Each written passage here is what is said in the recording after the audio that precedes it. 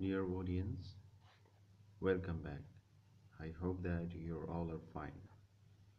Today I am going to discuss on some problems relating with the integration by the method of substitution. Dear friend, the first problem is here integration x e to the power x square dx. If you observe this given integral, you will find there are two parts.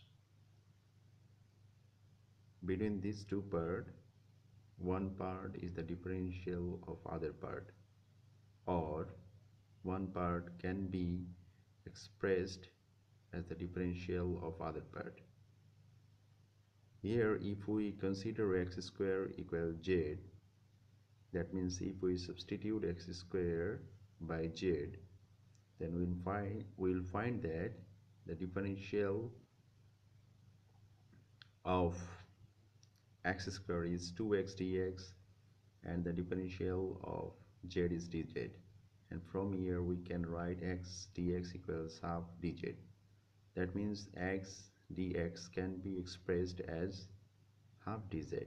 Now substituting these expressions in the given integral we find integration x e to the power x squared dx equals half e to the power j dz equals half e to the power z because we know that the integral of e to the power z is e to the power z and here we also put the plus c. This c is the integral constant so again substituting z by x square we get half e to the power x square plus c. So ultimately we get the integral of x e to the power x square is half e to the power x square plus c. Here the problem number two we'll get integration of 2x whole divided by 1 plus x square dx. If we substitute 1 plus x square by z then the differential of 1 plus x square we can write 2x dx and the differential of z is dz. Now Substituting 2x dx by dz, we get integration 2x by 1 plus x squared dx equals integration dz by z. But we know that integral of dz by z equals ln of z plus c where c is the integral constant. Now substituting the z by 1 plus x square we get ln of 1 plus x square. Dear audience, it is remarkable that after the ln or logarithm, we shouldn't put the negative number. That means always we have to put the positive number or the positive expression to make it meaningful or significanceful I have used here the absolute value sign that means ln of absolute value of z. That means ln of absolute value of 1 plus x square. Dear audience here the third problem is integrate integration sine x divided by 1 plus cos x dx. If we substitute 1 plus cos x by z then from these we can get the minus sin x dx equals dz. And then we can write sin x dx equals minus dz. Again we substituting sin x dx by minus dj we get integration sine x whole divided by 1 plus cos x dx equals minus integration dz by z. Here again we can write the integral of dz by z is ln of z. And plus c is the integral constant. Re-substituting the z by 1 plus cos x we get minus ln of absolute value of 1 plus cos x plus c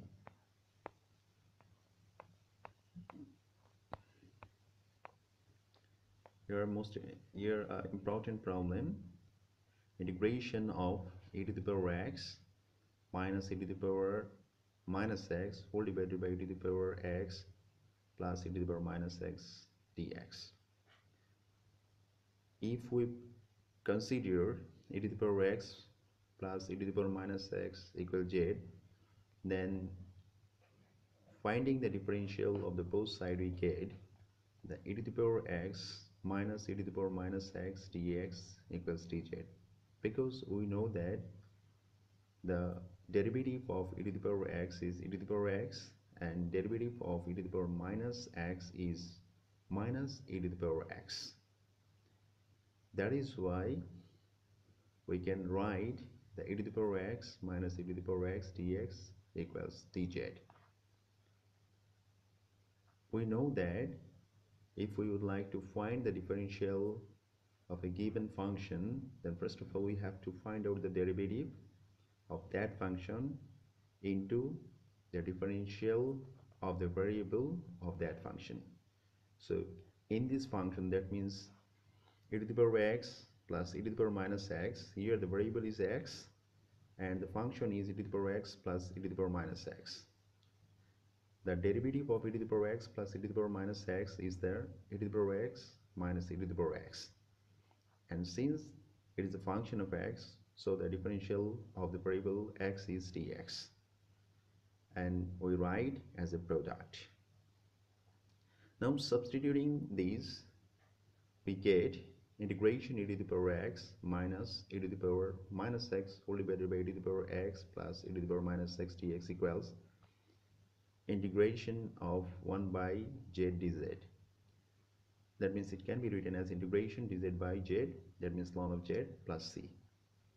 Now substituting z by e to the power x plus e to the power minus x we get into ln of absolute value of e to the power x plus e to the power minus x plus c where c is the integral constant. Similarly this problem can be done. That means if we consider sine x is a z and substituting these we get the integration of cos x square cos square x sine x dx equals minus integration of z square dz. And integrating it we get minus one third z cube plus c. And replacing z by uh, cos x we get minus one third cos cube x plus c where c is the integral constant. Similarly the problem number seven can be done. Dear audience here the problem number seven two integration of sine to the power 5 x dx. This sine to the power 5 x dx can be written as sine to the power 4x into sine x dx. Now we consider again the sine is sine to the power 4x um, can be decomposed as uh, sine square x.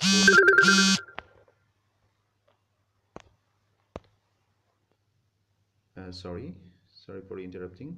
Um, here sine to the power 4x can be written as uh, sine square x um, whole square and in place of sine x dx I put sine x dx.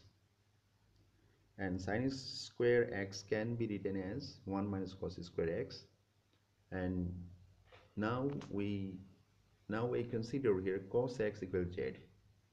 And taking the differential to the both side of the given equation we get minus sine x dx equals d uh, z sorry it will be the dz but it is written here dx is the mistake. So sine x dx equals minus dz now substituting those in the given integral we get integration of 1 minus z square whole square into minus dz.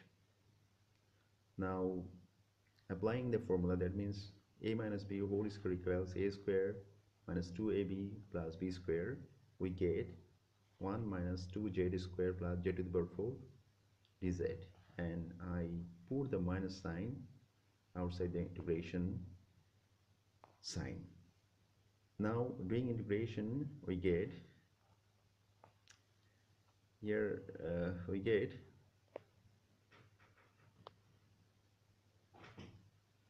z 2 by 3 z cube plus 1 by 5 j to the power 5 but there is a, mistake here. That means here we shouldn't put the integration sign. But here is the integration sign. So no need to put the integration sign in this line. In next line I write here that means substitute the z by cos x. Then we get minus cos x 2 by 3 cos cube x plus 1 by 5 cos to the power 5x plus c where c is the integral constant. Dear audience it is the problem number 8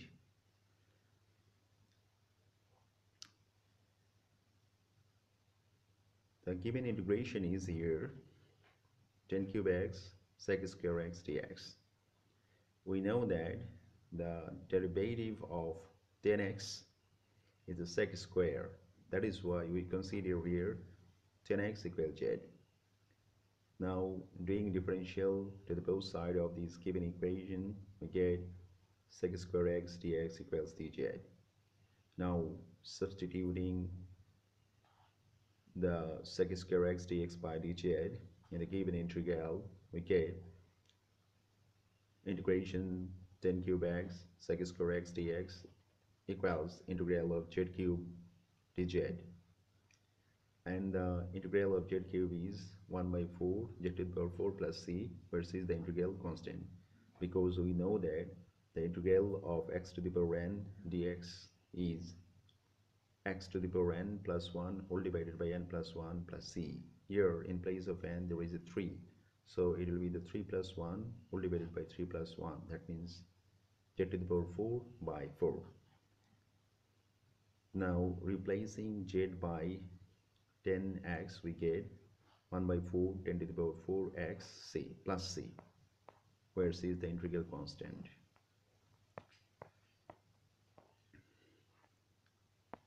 Uh, important sum um, integration of dx whole divided by 1 plus x squared tan inverse x.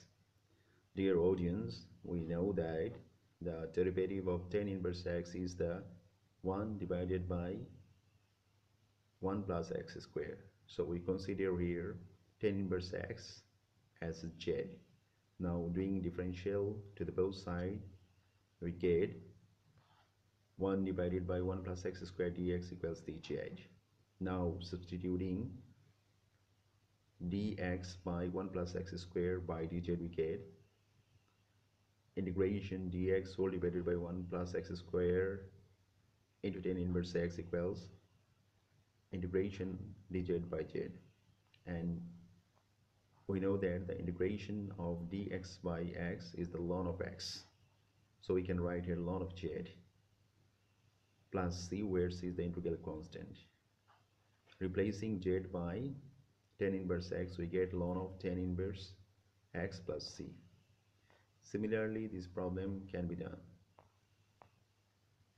Dear audience in this problem we will get integration into the power tan inverse x whole divided by 1 plus x squared dx. If you observe it carefully then you will find that the integrate sorry derivative of tan inverse x is the 1 divided by 1 plus x squared is given here. That is why substituting tan inverse x by z you can solve this problem. Here it is also the important sum integration dx whole divided by 1 plus x squared into 1 plus tan inverse x. If we consider 1 plus tan inverse x as z and doing the differential to the both side we can get 1 divided by 1 plus x square and replacing it in the given integral we find integration of dz by z and it can be written as ln of z plus c where c is the integral constant. And replacing z by 1 plus tan inverse x we get ln of absolute value of 1 plus tan inverse x plus c. Similarly this problem also can be done. That means uh, we should consider tan inverse x cube as a z and after that substituting the differential by the often differential we can solve this problem and ultimately we get the integration of x square tan inverse x cube whole divided by 1 plus x to the power 60 x equals 1 by 6 tan inverse x cube whole square plus c where c is the integral constant.